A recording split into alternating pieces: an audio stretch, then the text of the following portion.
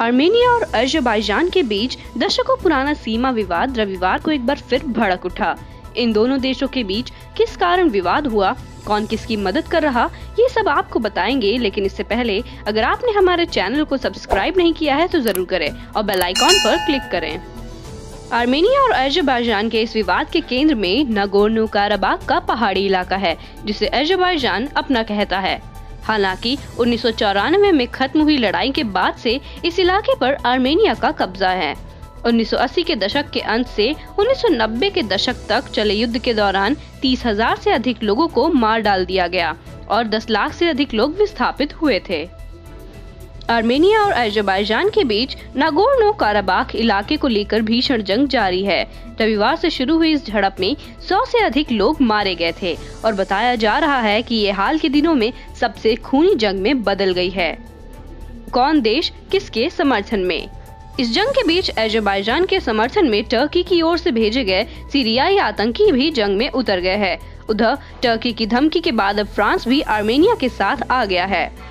Armenia और Azerbaijan के बीच बढ़ते तनाव को देखते हुए रूस ने लड़ाई को खत्म करने के लिए बातचीत आयोजित करने का ऑफ़र दिया है। रूस के विदेश मंत्री सर्जी लैवरोव ने दोनों ही देशों की सरकारों को ये ऑफ़र दिया। उधर, इस लड़ाई के खात्मे के लिए रूस के राष्ट्रपति व्लादिमीर पुतिन ने फ्रांस के राष्ट्रपति इमानुएल मैक्रॉन से बात की है। दोनों नेताओं ने सीज फायर का आह्वान किया है। आर्मेनिया का S 300 missile system Nagorno Karabakh में उड़ाया। रूस का आर्मेनिया के साथ सैन्य गठजोड़ है, लेकिन उसका अजरबैजान के साथ भी करीबी संबंध है बुधवार को अजरबैजान के राष्ट्रपति ने प्रण किया कि आर्मेनियन सुरक्षा बलों के इलाके को छोड़ने तक यह लड़ाई जारी रहेगी उन्होंने कहा कि हमारी एकमात्र यह शर्त है कि आर्मेनिया के सुरक्षा बल पूरी तरह से और बिना शर्त हमारे इलाके को छोड़ दें। वहीं अजरबैजान की सेना ने बुधवार को ऐलान किया है कि उसने आर्मेनिया का एक S 300 missile system Nagorno Karabakh में उड़ा दिया। उसने ये भी दावा किया कि आर्मेनिया की सेना तोनशिन गाँव के पास के इलाके से भाग खड़ी हुई है। उधर आर्मेनिया ने दावा किया है कि अजरबैजान आम नागरिकों पर बम बरसा रहा है। अजरबैजान सेना ने 3000 से अधिक सैनिकों को खो दिया है। टर्की की धमकी पर फ्रांस ने दिया करारा जवाब। आर्मेनिया अजरबैजान की जंग से नाटो के दो सहयोगी देशों, फ्रांस और टर्की में विवाद गहरा हो गया है। फ्रांस में आर्मेनियन मूल के बड़ी संख्या में लोग रहते हैं। टर्की इस युद्ध में खुलकर अजरबैजान का न केवल हर तरह से समर्थन कर रहा है, बल्कि धमकी भी दे रहा है।